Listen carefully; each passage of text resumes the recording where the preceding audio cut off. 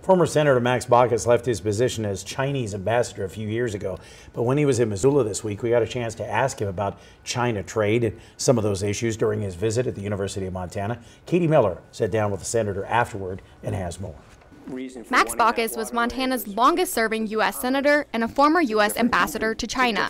On Thursday, MTN News sat down with him to ask his opinions on international policies and affairs.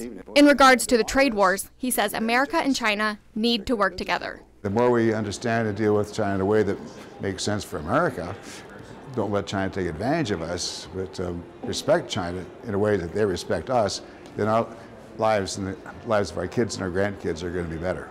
When asked how trade with China is impacting Montanans, Baucus said the value for many agricultural exports is going down, especially for wheat. I think it's partly related to all the trade tensions.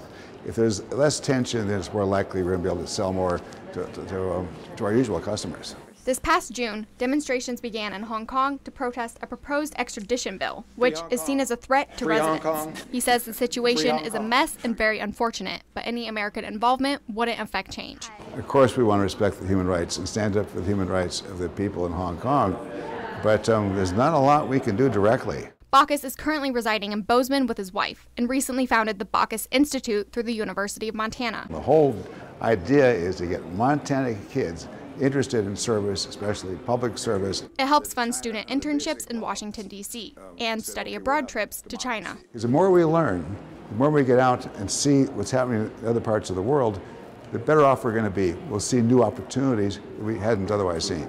In Missoula, Katie Miller, MTN News.